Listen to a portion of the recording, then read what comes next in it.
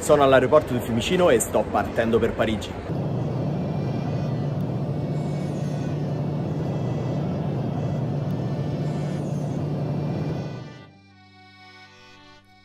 A Parigi puoi tornarci 100 volte e trovare sempre qualcosa di nuovo e di stimolante da fare e da visitare.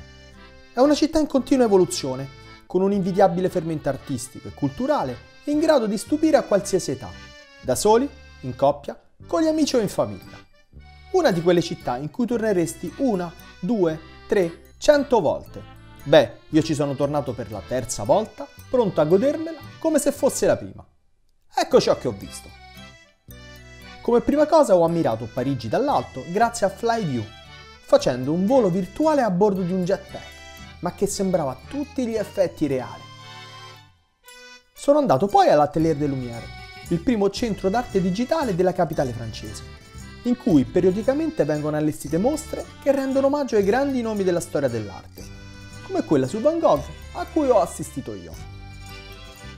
Ho visitato la tomba di Napoleone Bonaparte il cui corpo riposa in un grande sarcofago di porfito all'Hôtel des Invalides, un complesso di edifici del XVII secolo realizzati per ospitare i soldati invalidi, dove si trova peraltro anche il Musée de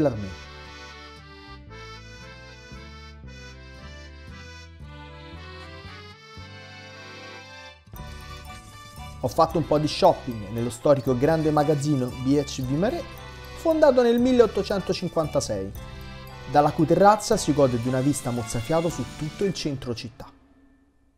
E sono andato a visitare la Fondazione Lafayette Anticipation, in cui gli artisti contemporanei creano ed espongono le proprie opere. Non potevo però andarmene senza aver salutato Notre Dame de Paris, profondamente ferita dall'incendio del 15 aprile 2019. Dove ho mangiato? Delle ottime gaiette salate e dolci da Udux de Bourgogne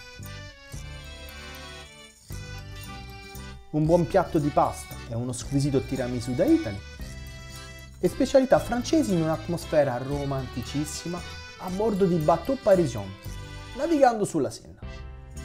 E come degna conclusione di questo viaggio indimenticabile, ho assistito a una cena spettacolo al Lido de Paris, lo storico cabaret sugli Champs-Élysées, aperto nel 1946. A bientôt Paris! Ci rivedremo presto!